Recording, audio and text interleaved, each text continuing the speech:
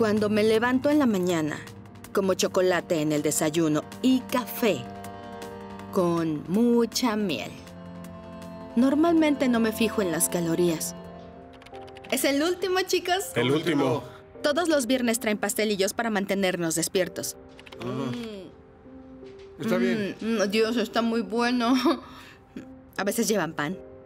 He trabajado con Lucy desde hace un par de años aquí. Es divertida, siempre tiene una actitud positiva. Pero recientemente siempre está comiendo chocolates, dulces, comida chatarra. Mm. Oh, sí. Creo que voy a la máquina expendedora del trabajo dos o tres veces al día. Compro chocolate, papas. Me gusta alguien y se llama Kevin. Conocí a Kevin por el trabajo cuando estaba considerando unirse como cliente a la compañía en la que yo trabajo. Quiero que Kevin me vea fuera de la clasificación de amigos de trabajo, pero necesito perder peso primero. Conozco a Lucy hace ocho años. Es mi amiga, pero es como mi hermana. Necesito uno de esos pasteles de zanahoria, ¿ok? Bueno, Porque bueno. van a ser los últimos que me coma. te antoja? Estoy harta de toda el azúcar que estoy consumiendo y del trabajo. Lo sé, lo entendemos. Es que me gusta Kevin. ¿Qué? Es arrogante, pero es guapo. Sí, puedo verlos juntos. ¿En serio? Estoy dividida en la situación entre Lucy y Kevin. Es uno de esos hombres guapos y masculinos. No sé si eso es lo único que tiene. Sale con muchas chicas y eso me preocupa. Estamos en nuestro bar y voy a tener mi hora feliz con Kevin. Kevin y yo jamás nos hemos visto fuera del bar que maneja. Hola. ¿Cómo estás? Ay, Dios Bien. mío, no, no me Bien, muy vestí. bien. ¿Y tú? Tu vestido es Bueno, increíble gracias. y te ves, te ves hermosa. Gracias. Se nota que has perdido peso.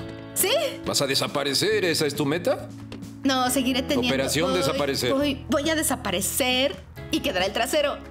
¿Sabes qué? Me gusta ese juego. Quiero jugar Sí. ese juego. Bueno, Así que entré y vi el vestido negro. Lo primero que pensé es que se veía muy bien y yo me veo así. ¿Y de qué se trata eso de perder peso? Quiero saberlo. veamos. ¿Quieres saber? Pues lo estoy haciendo por salud, para verme mejor y sentirme mejor, pero la razón real para perder peso es llamar tu atención. Te busqué como cliente porque siempre me atrajiste y me gustabas, ¿Yo? así que sí. Ah. Y ahora que comencé a perder peso, me siento más cómoda siendo sincera y diciéndotelo. Bueno, me gustas. Ah, valoro eso.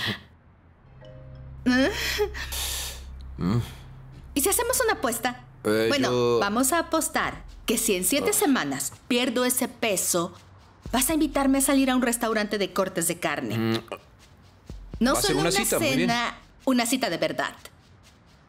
eh, soy, soy un hombre muy ocupado. Pero haré espacio en mi agenda. Creo que si no logro mi meta, va a ser porque, número uno, hago trampa con la comida. Y número dos, no he entrenado tan duro. Ay, Dios. Ay, Dios mío. Voy a ir a la casa de mi prima. ¡Hola! Hicimos una apuesta de que cuando logre mi meta vamos a salir a cenar. Ah. Mi meta son 54 kilos. Ya Sí. veo. ¿Cuánto tiempo te queda? Ah, me quedan como tres semanas. ¿Tres semanas? Siento que los números no bajan, pero aparento menos de lo que peso. Y está lo de la apuesta. Sí. Odio perder las apuestas. Lo sé. Por eso quiero mentir y decirle, sí, logré mi meta. Sí. No me siento de 67 Sí. kilos. Siento que soy mucho ¿Sí? más delgada. Te ves más delgada. Pero él no sabrá si en realidad peso 54 o no. Le escribí. Peso 54 kilos y gané la apuesta. No lo he logrado, aún me faltan 9 kilos. Ups. Entonces, Ganaste la apuesta. sí, gané la apuesta. Es impresionante. ¿Fue difícil? Fue muy difícil. Me sorprende que lo lograras. Sí. No creo que sepa que estoy mintiendo porque parece que peso 54 kilos. ¿Estás listo para invitarme a comer? Claro. Escogí el mejor restaurante de cortes de carne. ¿Podemos hacer eso? Ay, No voy a ser sincera. No lo logré. Te mentí. Mentiste. Sí, me faltan 9 kilos. Peso 63 kilos. Pesa 63. Sí.